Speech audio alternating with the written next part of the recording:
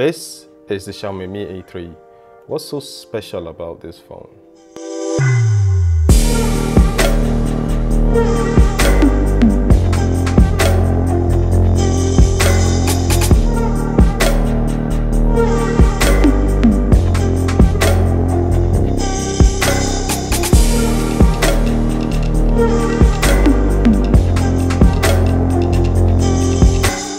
Hello guys and welcome Valor Reviews. In this video, I'll be unboxing the Xiaomi Mi A3. I'll also be sharing my thoughts and experience after using this device for two weeks. And to round things up, I'm going to show you how good or bad the camera of this device is. Now let's go.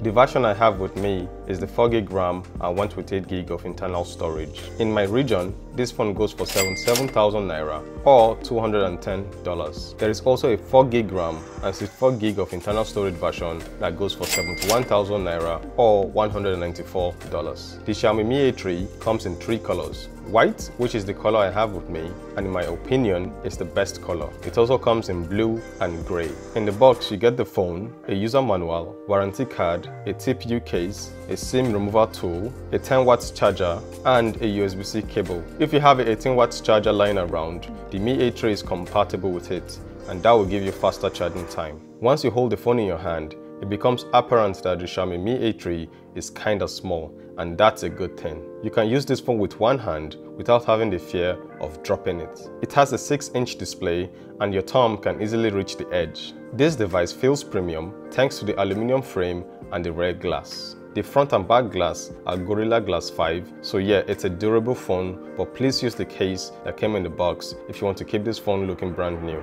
Speaking on the case, I find myself having to remove the case to charge the phone or when I want to use headphones. The case is too thick and doesn't make the headphones connector sit properly, and that messes up the audio. Same thing with the USB-C charger, the case doesn't allow the male USB-C charger end to sit properly. The Mi A3 isn't water resistant, so don't go playing in the rain with this phone. On the left side of the device, there is the SIM and memory card tray.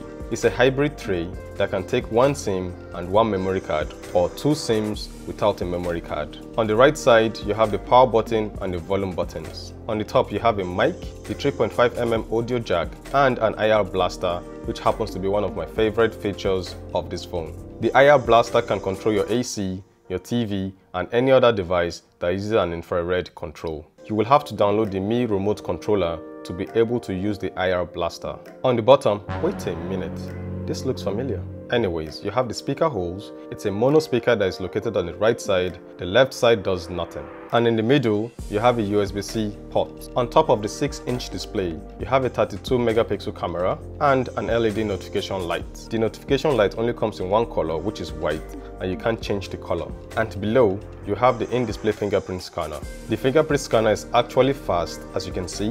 What slows it down is the animation, and there isn't any way to stop it. At the rear of the device, you have a triple camera setup with a 48 megapixel wide angle camera, a 8 megapixel ultra wide camera, and a 2 megapixel depth camera. You also have a flash. In this video, I'll be testing out the cameras on the Xiaomi Mi A3, so stay tuned and hit that subscribe button if you're enjoying this video so far. Now let's move to the display. The bezels on this device are not too big. The screen on this device is a Super AMOLED panel with 286 pixels per inch. The only disappointment on paper is it's a 720p panel. But in real life, this panel doesn't look like a 720p panel. No pixelations when you move the device close to your eyes, it's bright and well calibrated.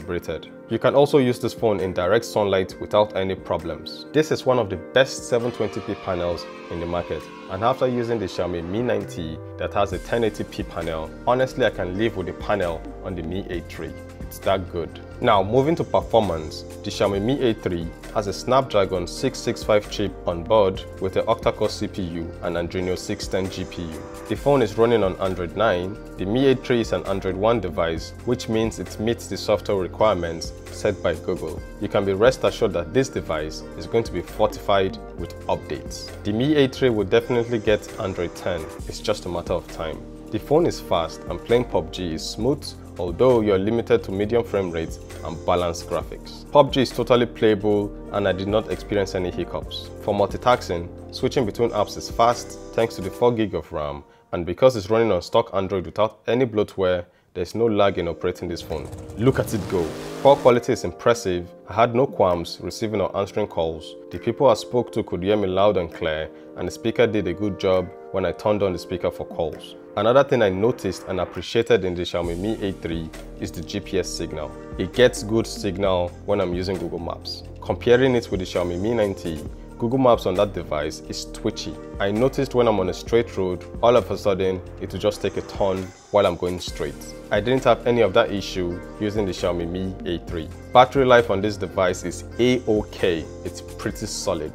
The Mi A3 is packing a 4030 mAh battery. I typically get 7 to 8 hours screen on time. This device would definitely last the whole day. Now let's move to what makes the Xiaomi Mi A3 a special phone and that's the cameras. Let's start off with the front-facing camera. It has a 32 megapixel camera that takes decent pictures. Here are some of the samples taken with the front-facing camera. Hello guys, so here's a video from the front-facing camera of the Xiaomi Mi A3. It records in 1080p at 30 frames per second. And I think the quality is actually good, so well done Xiaomi, well done The front camera doesn't have any form of stabilization. So when you run and you're recording, the footage is going to be shaky. Moving to the rear camera, here are some of the samples. The rear camera can shoot in 4K, 30 frames per second, but with no stabilization. The camera can shoot in 1080p on 30 frames per second with stabilization. It can also shoot time-lapse and slow motion. The camera is really, really good. So guys, here's a video from the rear camera. It does shoot in 4K 30 frames per second, 1080p 60 frames per second, and 1080p 30 frames per second. But stabilization is only available on 1080p 30 frames per second. So when I run, the image is still stable.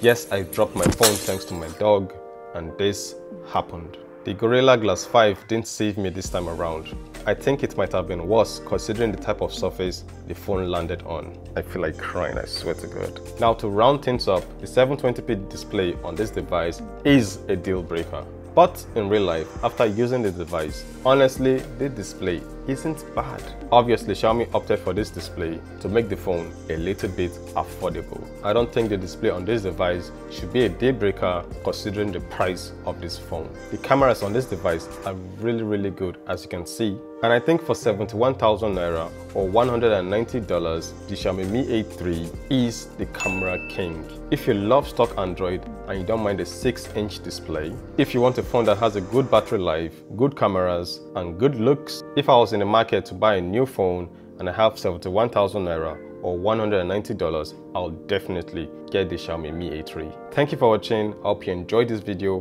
Please subscribe to my channel. If you love German Shepherds, I have a free dog for you. Or maybe I should do a dog giveaway. Hmm. My Calabar people, offer, hit me up. As always, thank you for watching. It's time for me to sign out and go and cry. Valor, signing out.